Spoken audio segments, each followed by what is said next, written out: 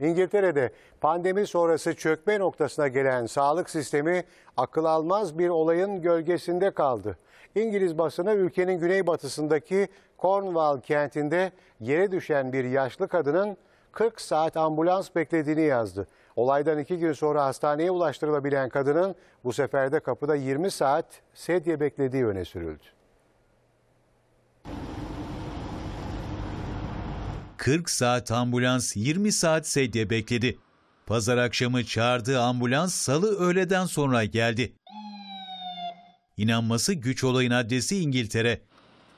İngiliz basınındaki iddialara göre Stefan Sims isimli bir kişi pazar akşamı yere düşerek kalçasını zedeleyen annesi için bir ambulans çağırdı. Ancak yaşanan yoğunluk nedeniyle o ambulans olaydan tam 40 saat sonra geldi. Hastaneye ulaştırılması salıyı bulan 90 yaşındaki annenin çilesi bununla da bitmedi. Yaşlı kadının hastane kapısına park eden ambulansın içinde 20 saat sedye beklediği öne sürüldü.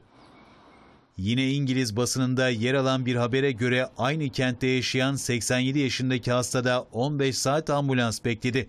Yağmur altında saatlerce yardım bekleyen adamın ıslanmamak için derme çatma bir sığınak inşa ettiği görüldü. Olaya ilişkin açıklamada bulunan Güneybatı Ambulans Hizmetleri Sözcüsü yaşananlardan derin üzüntü duyduklarını söyledi. Sağlık hizmetlerinin çok büyük baskı altında olduğunu ifade eden sözcü, acil durum hattını arayanların ortalama 9 dakika sıra beklediğine dikkati çekti.